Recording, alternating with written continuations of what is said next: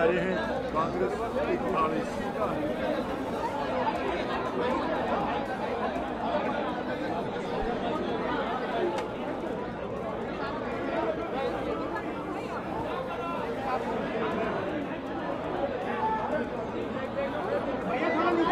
भाई सभी से अनुरोध है एक बार शांति बनाए रखिए शांति What is your response on this election? Sir एक तरीके से क्या आप मानते हैं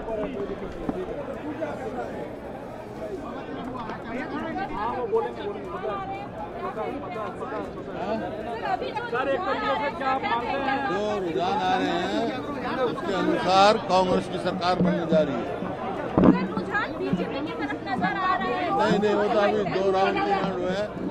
जितने रिपोर्ट जाती है उतने सारा जो खबर आई है कांग्रेस की बहुमत आ रही है। दस साल के बाद क्या कांग्रेस पार्टी उत्तर भारत में वापसी कर रही है? दस साल के बाद? हाँ। दस साल के बाद कांग्रेस कांग्रेस की सरकार बनने जा रही है। जो ट्रेंड सर चल रहे हैं उसमें बीजेपी खेमे से कहा जा रहा है कि बढ़त बनाएँगे। कहीं नहीं बढ़त बनेगी। आप देखना नतीजा है कांग्रेस का जो ट्रेंड आ रहा है वहाँ कांग्रेस का ज़्यादा बहुमत आ रहा है। हज़ारों लोग नारा लगा रहे हैं। भूपेंद्र सिंह हुड्डा जिंदाबाद। मुख्यमंत्री के तौर पर आपको देखना चाहते हैं। ये पार्टी फैसला करती है सर क्या सपोर्ट साहब बड़े बीजेपी के बड़े लीडर जो पिछड़ते हुए नज़र आ रहे हैं। बीजेपी के बड़े लीडर पिछड़ते हुए नज़र आ रहे हैं। कांग्रेस की सरकार बनने जा रही है भाई।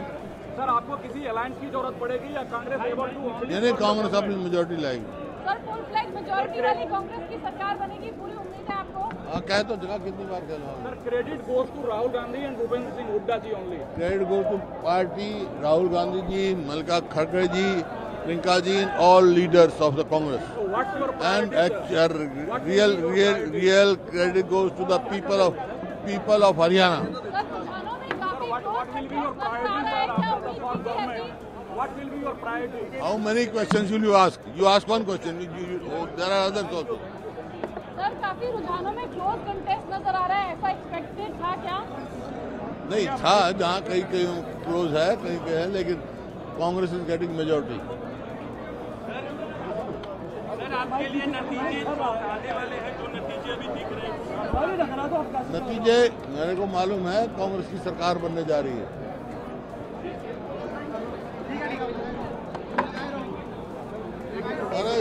मुख्यमंत्री कांग्रेस का सबसे बड़ा चेहरा और भूपेंद्र हुड्डा ये कह रहे हैं कि हमारी सरकार बनने जा रही है। लेकिन- लेकिन चेहरे के हाव भाव थोड़े मायूस दिख रहे देखिए हैं। देखिए कांग्रेस का यहाँ पे नंबर बड़ा है चार सीटों के करीब तीन सीटों के करीब का कांग्रेस को गेन हुआ है पैंतीस पे कांग्रेस अड़तालीस पे बीजेपी आ गई है।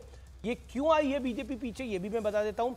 इसके पीछे बड़ा कारण है नारनौन से कैप्टन अभिमन्यु पीछे हो गए हैं अंबाला से अनिल विज पीछे हो गए हैं हैं। कि दोनों स्टार नेता है भारतीय जनता पार्टी के ये पीछे हो गए दोनों बड़ा चेहरे हैं वो पीछे हो गए हैं तो वहाँ इसलिए बीजेपी का नंबर ये थोड़ा पीछे दिखाई दे रहा है आपको लेकिन गुड़गांव फरीदाबाद में बीजेपी की अभी भी बड़ी अच्छी लीड है पलवल में बीजेपी की लीड है ये है भूपिंदर सिंह हुडा। सोलह हज़ार से लीड कर रहे हैं। श्रुति चौधरी अपना चुनाव जीत रही हैं लीड कर रही हैं बड़े मार्जिन के साथ। ये तमाम चीज़ें हमें दिखाई दे रही हैं। लेकिन क्लोज कंटेस्ट दिखाई दे रहा है। अ, इसमें कोई दोराई नहीं है लेकिन 48 पैंतीस है। अभी बीजेपी को अच्छी बढ़त दिखाई दे रही है। लेकिन फिर भी मैं कह रहा हूँ कि साढ़े दस लगभग लगभग होने वाले हैं। तो हम सोच रहे थे कि साढ़े दस तक पिक्चर क्लियर होगी लेकिन जिस तरह का क्लोज कंटेस्ट है शायद ग्यारह साढ़े ग्यारह बजे तक ये पिक्चर क्लियर हो पाएगी। सैंतालीस छत्तीस देखिए गेम बदलता हुआ यहाँ पर। अमीश यहाँ पे 47 36 कांग्रेस दोबारा बढ़त बनाती हुई यहाँ पर आपको दिखाई दे रही है। बड़ा है भूपेंद्र हुड्डा जो है वो इस वक्त क्या कह रहे हैं? वो ये कह रहे हैं कि हमारी सरकार बनेगी।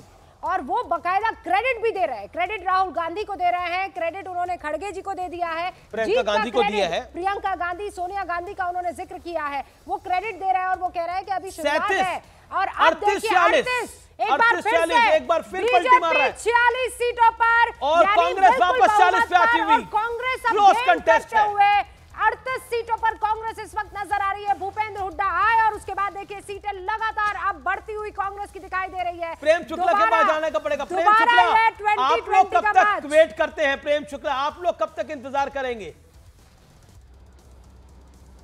हम लोग अंतिम परिणाम आने तक इंतज़ार करेंगे और सरकार बनाएँगे।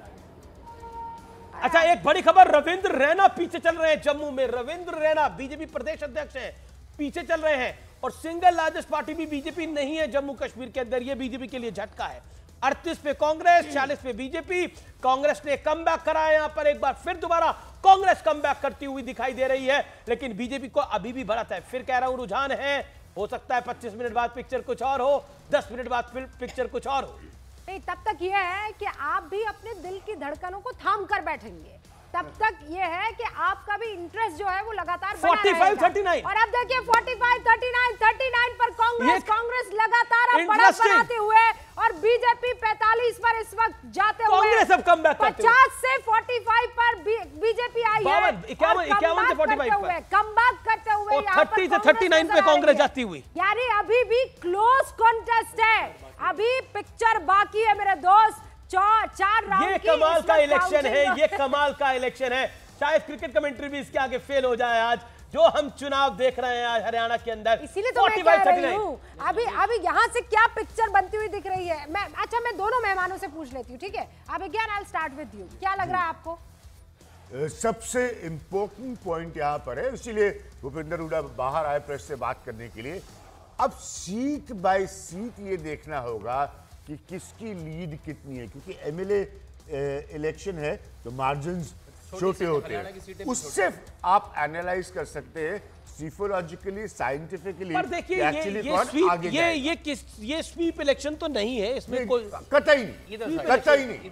किसी पॉइंट से ये कांग्रेस का स्वीप इलेक्शन जो बताया जा रहा था ये वो किसी पॉइंट वो तब है जब वो तब है जब 10 साल का एंटी इनकम्बेंसी का बड़ा बोझ कंधे पर लेकर बीजेपी मैदान में उतरी है। आप दस साल की सरकार के बाद अगर बीजेपी इस तरह का प्रदर्शन दे रही है तो you have to praise BJP. ये काबिल तारीफ़ प्रदर्शन है। वो भी जो उनका टिपिकल स्टेट नहीं है उनका ट्रेडिशनल स्टेट नहीं है। ट्रेडिशनल स्टेट नहीं है उसका वहाँ पर इस तरह का प्रदर्शन और पूरा इकोसिस्टम पूरा नैरेटिव बीजेपी के खिलाफ था।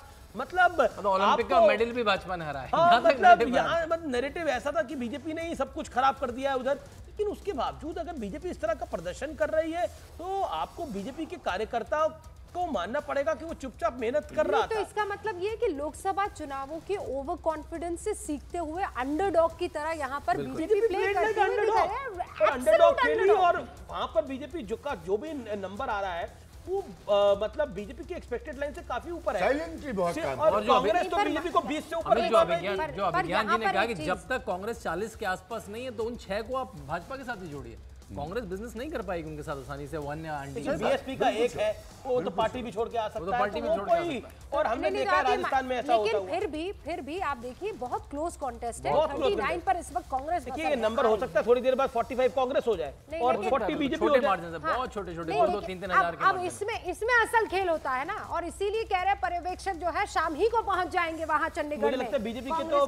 बीजेपी के तो कई नेता वहाँ मौजूद हैं ऑलरेडी चंडीगढ़ के अंदर और कुछ लोग कुछ लोग अंबाला और गुड़गांव के अंदर मौजूद है। प्रेम शुक्ला जी अभी आप ओके प्रेम शुक्ला हमारे साथ मौजूद नहीं है अब मैं जम्मू कश्मीर पर भी आपका ध्यान थोड़ा सा ले चलूँ क्योंकि हरियाणा मैं जानती हूँ बहुत ज़्यादा दिलचस्प है। वहाँ मुकाबला इतना कड़ा मुकाबला है कि 2020 का मैच चल रहा है लेकिन जम्मू कश्मीर में देख लीजिए NC कांग्रेस की बड़ी लीड है वहाँ पर। कांग्रेस जो है 50 seat vote lead I think सरकार बना ली है अगर रुझानों में देखे तो। और 48 49 चाहिए सरकार के लिए। 38 कश्मीर से आ रही है और 12 सीटें जम्मू से आ रही है। एनसी और कांग्रेस के इस गठबंधन को पीडीपी बहुत खराब प्रदर्शन चार सीटों पर बीजेपी यहाँ पर बड़ी पार्टी के तौर पर इमर्ज करती हुई पंकज भार्गव के पास चल सकते हैं सीधा रिज़ल्ट अपने। पंकज भार्गव क्या बड़ा अपडेट है? आपके पिटारे में तो कुछ नया होता है। हाँ, तो पिटारे में नया ये है अमीश और रूबिका की अगर हम बात करें हरियाणा की तो देखिए वो जो आगे पीछे की रेस चल रही है अब 39 पे कांग्रेस आगे चल रही है जबकि 45 पे बीजेपी तो ये अंतर कैसे हो रहा है?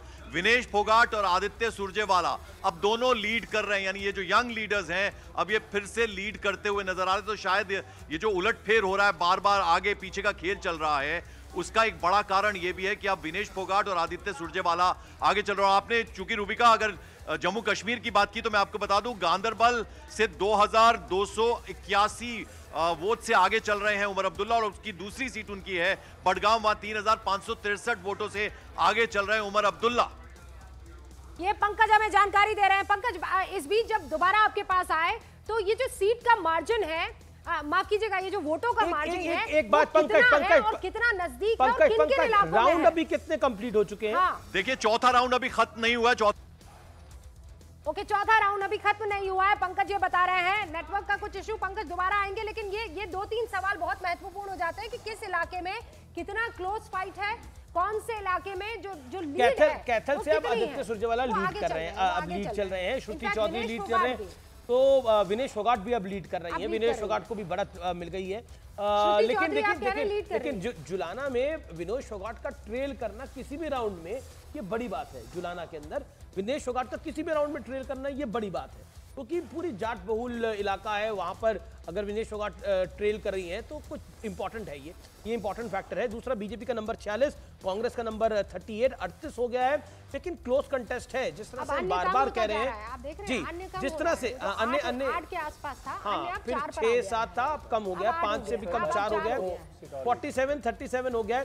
लेकिन देखिए क्लोज कंटेस्ट है चौथा राउंड भी अभी कंप्लीट नहीं हुआ है। तो टू करली early to call the election इसमें कोई डाउट नहीं है। मतलब तीन घंटे तो पर लेकिन बिकॉज़ अब इलेक्शन इस तरह का ओपन हो गया। है। और मैं तो देख रहा हूँ हर सीट करीब 14 से 17 राउंड है छोटी सीटें हैं हरियाणा के लिए फिर भी 14 से जिस तरह 17 से राउंड जिस तरह से ट्रेल्स और लीड्स बदल रही हैं हरियाणा के कैथल से एक बार फिर आपको बता दूँ जानकारी दे दूँ अब भी अमीश ने कहा है कैथल से आदित्य सुरजेवाला आगे, आगे चल रहे हैं। लाडवा से बीजेपी के नायब सिंह सैनी आगे चल रहे हैं।